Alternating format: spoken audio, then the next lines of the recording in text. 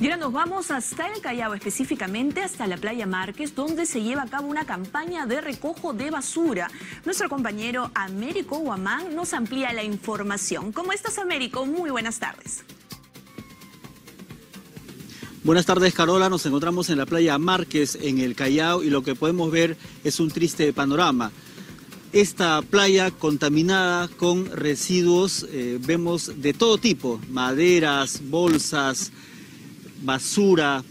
Y hoy eh, la ONG Vida, en coordinación con voluntarios también de esta zona, incluso vecinos, han venido a hacer una jornada de limpieza. Y para mayores detalles vamos a conversar con Arturo Alfaro de la ONG Vida, quien nos va a detallar hasta el momento cuántas toneladas de residuos se está retirando de esta playa. Se ha retirado, buenas tardes con todos, se ha retirado ya más de 40 toneladas, donde la mayoría es madera y madera de la construcción, lamentablemente, varias empresas que la, que la arrojan y también a esta playa. O sea, y es basura que no dejan vecinos ni bañistas, esto es basura que bota el mar.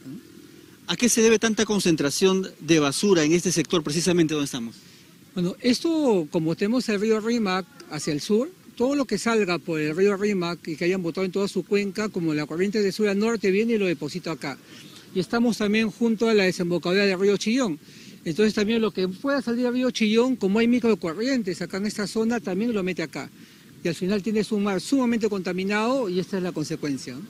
¿Cuántos voluntarios están trabajando hoy día? ¿Desde qué hora han iniciado? ¿Hasta qué hora van a seguir? Porque es una labor importante la que se están realizando. Sí, han venido más de 100 voluntarios de la empresa Arca Continental, a la cual se han sumado 100 voluntarios de, vecinos y de la Municipalidad Provincial del Callao. Entonces hemos sido más de 200 personas acá metiéndole punche y es tan arduo que hasta mañana va a continuar la jornada también. Ok, muchas gracias. Estamos también con Mariela Paredes de Arca Continental. Justamente se ha puesto a trabajar hoy día el personal y voluntarios también, que vemos hasta ahora incluso máquinas pesadas están ayudando con la labor. Así es, sí, eh, esto es parte de un voluntariado que tenemos como Arca Continental a nivel nacional, en las zonas donde tenemos las plantas, que es Iquitos, Cusco, Trujillo, Arequipa y Lima. Nosotros estamos haciendo una limpieza de ríos y playas y aquí efectivamente tenemos más de 200 personas que han venido el día de hoy. Estamos muy contentos. Este es el segundo año que hacemos esta limpieza en Playa Márquez y esto es parte del compromiso de Arca Continental con la sostenibilidad y con devolverle a nuestras comunidades parte de todo lo que nos dan. Santo ah, eh, mencionaba de que ya no es la primera vez que se realiza esta campaña, sin embargo, lamentablemente el panorama todos los años es lo mismo. Vemos siempre contaminación en esta zona. Sí, lamentablemente, efectivamente, no es el primer año y efectivamente sigue la contaminación aquí, como explicaba Arturo, hay mucho que hacer. Eh, y la verdad es que es también esto de aquí yo creo que es un llamado a todos nosotros para que podamos eh, reciclar en nuestras propias casas, ¿no? El tema de, separar los residuos en nuestras casas.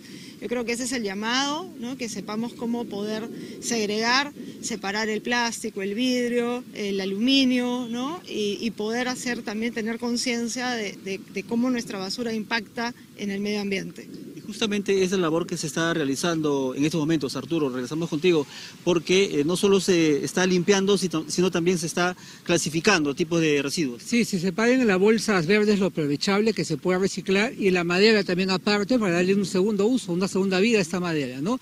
Entonces luego con la Municipalidad del Callao, con su programa de segregación, vemos que los recicladores aprovechen lo aprovechable, los residuos aprovechables y la madera que se disponga, por ejemplo, para vías comunes, comedores y otros que necesiten esta madera. ¿no? Más del 50% de lo que está acá se puede haber aprovechado y no botarlo como basura. Entonces tenemos que impulsar más el reciclaje, como nos ha dicho también Mariela. Si reciclamos más, esto no se repite. Ok, muchas gracias. Eh, bueno, tenemos que señalar que lo que ha dicho es verdad lo que está acá, que parece un basural, hay eh, cosas que se pueden aprovechar si es que eh, damos un buen uso y sobre todo practicamos el reciclaje. Con esta información lamentable, Carola, retornamos a estudios.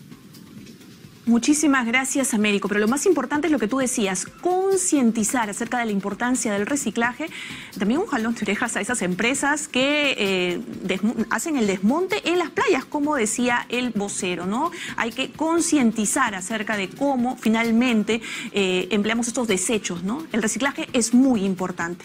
Ahora nos vamos...